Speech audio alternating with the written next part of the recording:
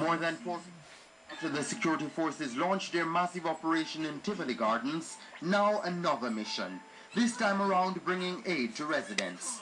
This is a truck taking the supplies into Tivoli Gardens. It's laden with water, bread, buns, and a number of essential items persons in Tivoli Gardens are said to be in need of at this time. Leading the mission is political ombudsman Dr. Herro Blair. He visited Tivoli Gardens Tuesday and had high praises for the security forces. They have what is called search and clear. They have to search every house to ensure that no wanted men are there. And as soon as they, they, they search, they'll clear. They'll take them out or leave them if they are not wanted and, and clear the place. There has been outcry from some residents, serious accusations even, that the lawmen have been burning bodies in the community. We saw two bodies on the street and we went back to the security forces and.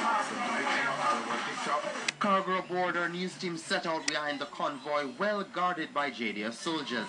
Our mission an opportunity to see what the community of Tivoli Gardens now looks like.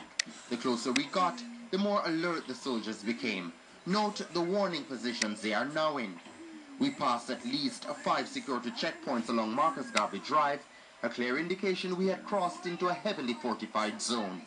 We got as far as Industrial Terrace, but then a roadblock. A group of lawmen instructed us to turn around and head back out. It wasn't our time yet to take a look around the community, they said.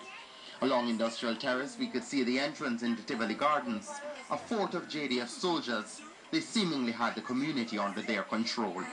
We've been asked to retreat to here, one of the military checkpoints along Marcus Garvey Drive.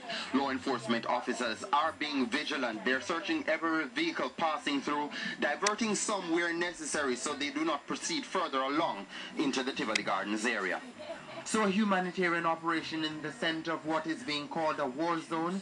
Residents of Tivoli Gardens now want attention turned to what they say are grave